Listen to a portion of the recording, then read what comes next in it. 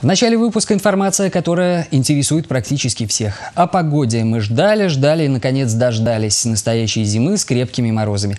Если многие такую погоду не жалуют, в частности автомобилисты, у которых не заводятся машины, то школьники радуются. Ведь если столбик термометра опускается ниже 25 градусной отметки, можно рассчитывать на внеплановые каникулы.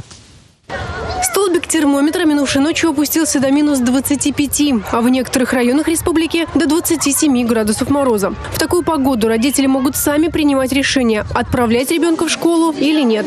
Но в Управлении образования города Чебоксары говорят, что общеобразовательные учреждения могут сами принимать решение об отмене занятий целях обеспечения сохранности жизни и здоровья обучающихся при резких понижениях температуры воздуха руководителем общеобразовательного учреждения по согласованию с учредителем принимается решение об отмене учебных занятий. Уроки не проводятся в первых-четвертых классах при температуре воздуха минус 25 градусов и ниже, в первых-девятых классах при температуре воздуха минус 30 градусов и ниже, в первых-одиннадцатых классах при температуре минус 35 градусов и ниже. Тем не менее, с обучающимися, которые которые пришли в образовательное учреждение, проводятся индивидуальные или групповые занятия.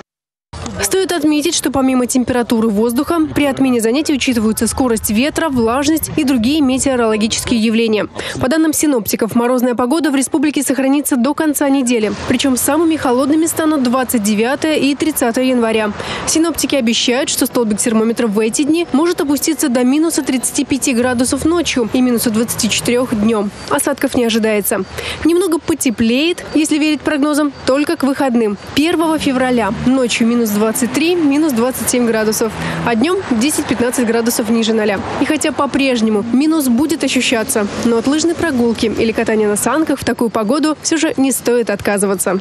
Галина Титарчук, Михаил Жбанов, Республика.